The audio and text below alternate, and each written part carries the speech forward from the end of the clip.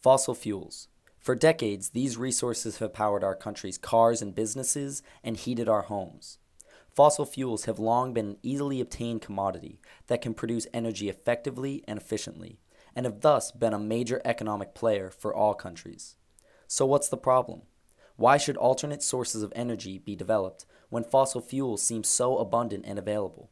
The answer rests in two major explanations. For one, fossil fuels are not a bottomless reserve, as many have come to believe. They are finite. This means they cannot and will not be the sole source of power for our world in the future. The other major reason is that fossil fuels are one of the leading causes behind man made climate change, a reality that is backed by 98% of the scientific community. But if not for fossil fuels, where else would we turn? The answer is renewable energy, an industry that has grown remarkably in the last few years. From wind to solar to hydroelectric, renewable energy provides a clean and limitless source of energy for the world. Yet even our very implementation of this energy source is limited.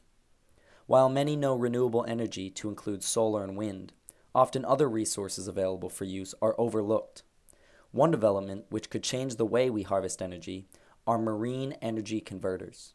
Marine energy converters are machines that take the energy carried by ocean waves and tides and converts them to usable energy, which can be harnessed to power any electrical outlet. Now, the reason you may not have heard about these types of renewable energy is that they are seriously underdeveloped and underutilized globally, largely due to the fact that many of the companies developing these technologies are seriously underfunded, both by government and private institutions. The first fully functional marine energy operation was completed in 2008. Located in the north of Portugal near Póvoa de Varzim, a Aguçador wave farm began producing energy in the second half of 2008. Employing a design known as the Pelamis, a long, segmented, snake like mechanism which undulates in the waves, the device creates energy by using the relative height changes between the segments to power hydraulic rams. This is one of the most popular designs being tested for large scale energy production, both for its reliability and durability. For a country like Portugal, which has severely limited energy resources and a large coastline, marine energy offers an easily accessible source of renewable, clean energy.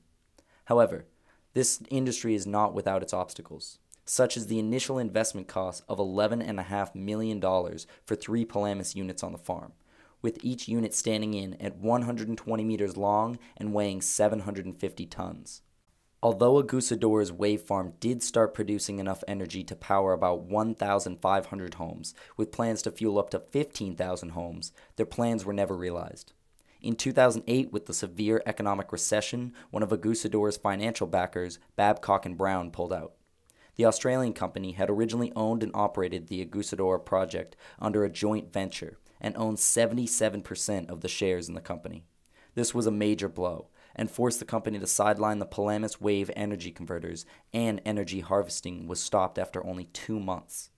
At full capacity, this wave farm could have saved an estimated 60,000 tons of carbon dioxide a year from being expelled into the atmosphere. Despite this setback, there is a silver lining. Other countries all over the world are continuing to make waves in implementing these technologies into the commercial energy industry. Companies like OpenHydro, an Irish company testing open center tidal turbines, and Hammerfest Strom, a Norwegian company testing the Andritz Hydro Hammerfest, continue to make strides in this industry. But you may ask yourself, why wouldn't we continue to use renewable energy sources that have a foothold in the door, like wind and solar, which are already producing power on a commercial scale. Marine resources offer a way to augment our renewable energy on a massive level. Globally, oceans have the potential to produce enormous quantities of energy, with some estimates ranging up to 80,000 terawatts per hour.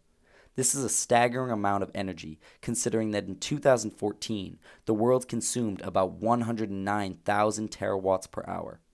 So, if taken to its full capacity, marine energy could provide a new outlet for world renewable power, possibly producing over half the overall energy for the world. Not only that, but the designs for marine energy are boundless. With dozens of models that can be utilized in various conditions, the possibility for marine energy is ever expanding.